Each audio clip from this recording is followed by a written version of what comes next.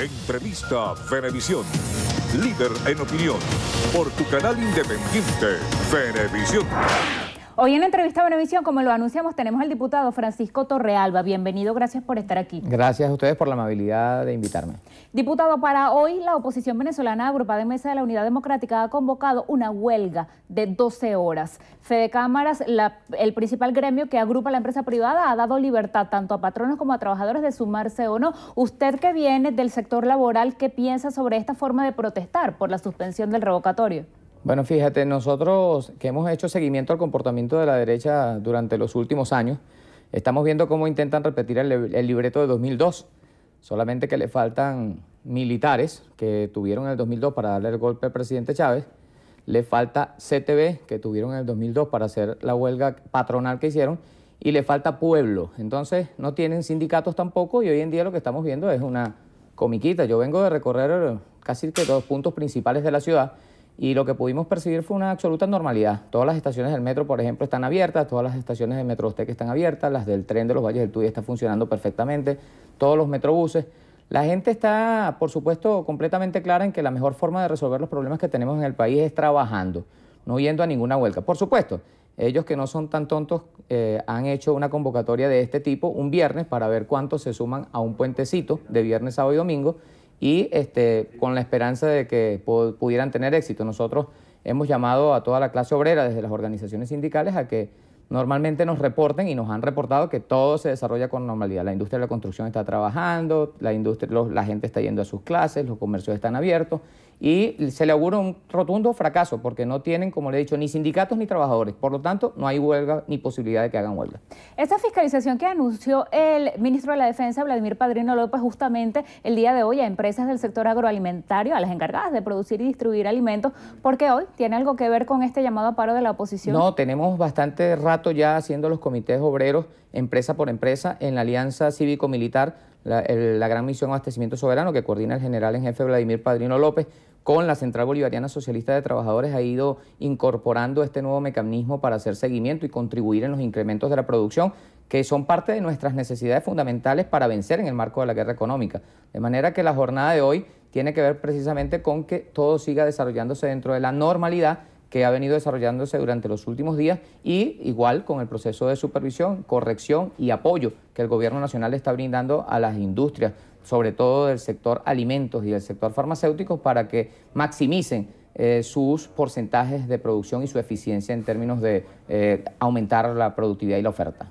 ¿Conoce usted el motivo de esa presencia de efectivos del SEBIN tanto en la residencia de Lorenzo Mendoza como en la sede principal de Empresas Polar en Los Cortijos aquí en Caracas ayer? No, no sé qué, qué estaba haciendo el SEBIN allí. Lo que sí sé es que desde hace bastante tiempo, lo sabe todo el país, Empresas las empresas Polar que dirige Lorenzo Mendoza no han sido todo lo dispuestas a contribuir en el tema del abastecimiento y por tal razón, bueno, se mantienen en seguimiento permanente. Nuestra idea es que todas las empresas trabajen al máximo de su capacidad para que los venezolanos y las venezolanas puedan eh, tener acceso a los bienes de consumo masivo y de primera necesidad que en muchos casos se les ha negado desde los oligopolios que controlan personas como Lorenzo Mendoza.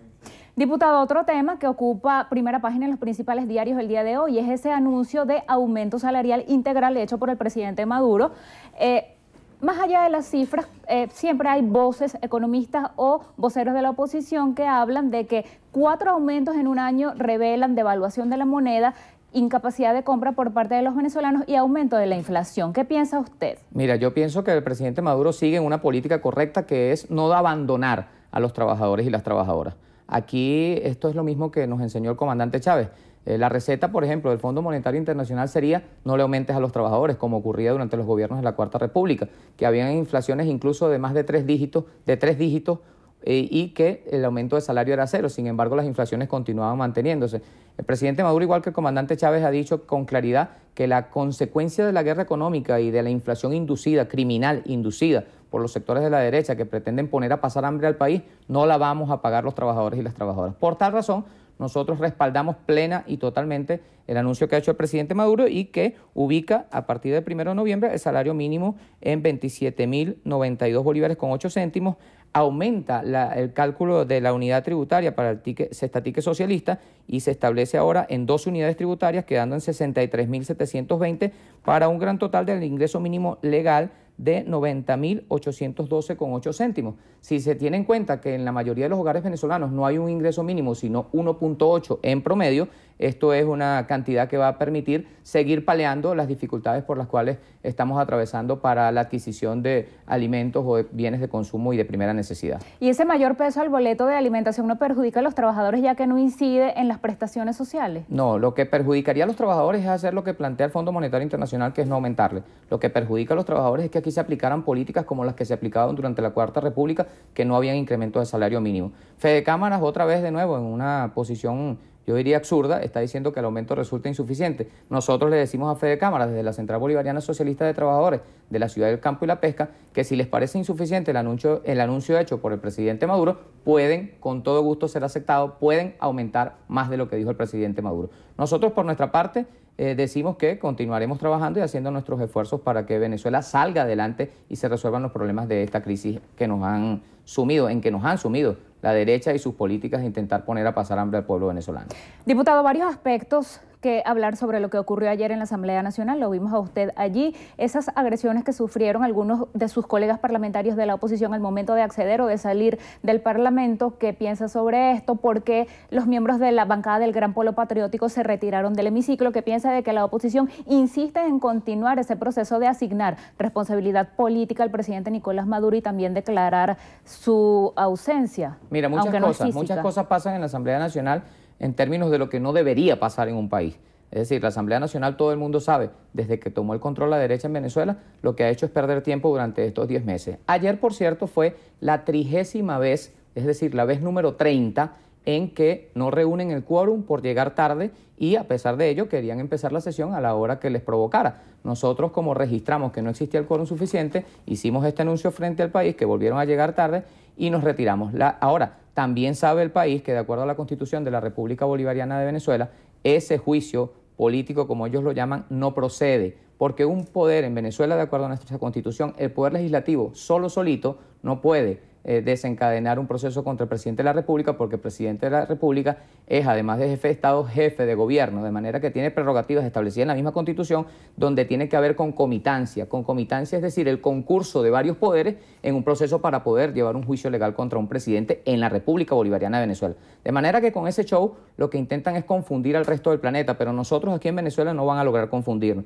Nosotros sabemos que la Asamblea Nacional está en proceso desde el 5 de enero de un golpe legislativo. Pero aquí no es Brasil, aquí no es Honduras, aquí no es Paraguay, aquí es la República Bolivariana de Venezuela y nosotros sabemos que la mayoría del pueblo venezolano que apuesta, lucha, defiende y se gana la paz día a día va a luchar también porque no haya nuevos golpes y porque esa derecha no se vaya por los atajos que se fue en el 2002 para sacar del gobierno a un presidente legítimamente electo como es el compatriota bolivariano Nicolás Maduro Moro, primer presidente chavista.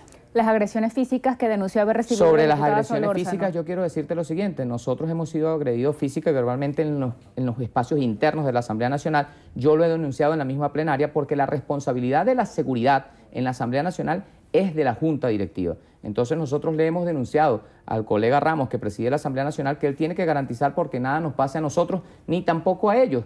Y en todo caso, eh, lo que ha ocurrido allí en los alrededores de la Asamblea Nacional es que el pueblo no va a permanecer expectante frente a la amenaza que ellos llevan adelante de dar un golpe de Estado desde el Poder Legislativo. La verdad es que ellos mismos son los responsables de que el pueblo se movilice, porque ellos mismos son los que están planteando amenazas a la Constitución y al Estado de Derecho, amenazas a la paz. Ellos son los que plantean y frente a eso el pueblo que quiere paz, que quiere democracia, que quiere defender a la Constitución y a su presidente, va y se aproxima a, los alrededores de la Asamblea Nacional para ver que no vayan a salirse del carril constitucional, que no vayan a romper las reglas de la democracia y la Constitución. Estos acercamientos que podrían dar lugar a un diálogo entre gobierno y oposición con la facilitación de un enviado especial del Vaticano, del Papa Francisco. Se habla de esta reunión que está pautada para este domingo 30 de octubre. La oposición ha dicho que sí va a ir en la voz de, Jesús Torrealba, su secretario ejecutivo, pero que su único punto en agenda va a ser retomar la agenda electoral y piden bien o retomar el referendo revocatorio o unas elecciones generales, unas elecciones eh, anticipadas. Mire, nosotros nunca habíamos visto desde hace bastante rato una oposición que hiciera semejante ridículo como el que ha hecho la derecha en Venezuela y la oposición en Venezuela. Un día dicen que sí van, otro día dicen que no van. Un día dicen que se enteraron por televisión, otro día que sí participaron. La verdad es que nosotros le hemos dicho a los dirigentes de la MUD, dejen de ver televisión y pónganse a trabajar. Dejen de ver televisión y siéntense en la mesa a dialogar, porque nadie en su sano juicio podría estar de acuerdo con lo, lo contrario al diálogo, que es la violencia. Entonces ellos deberían dejar de guabinear, como decimos en criollo, y deberían sentarse a trabajar. Lo que se habla en la mesa de diálogo, todo se puede hablar en la mesa de diálogo. Aún en guerra existe diálogo entre las partes en conflicto. Entonces, ellos al final están, como yo le dije al principio, siguiendo un guion y les va muy mal porque su actuación es terriblemente mala. Diputado, gracias por esta conversación. Gracias a ustedes por la amabilidad de haberme invitado. Hasta aquí entrevista Benevisión con el diputado Francisco Torrealba, pero quédense allí porque al regreso estará aquí con nosotros Luisa Ortega Díaz, la fiscal general de la República. Eso va a ser al regreso.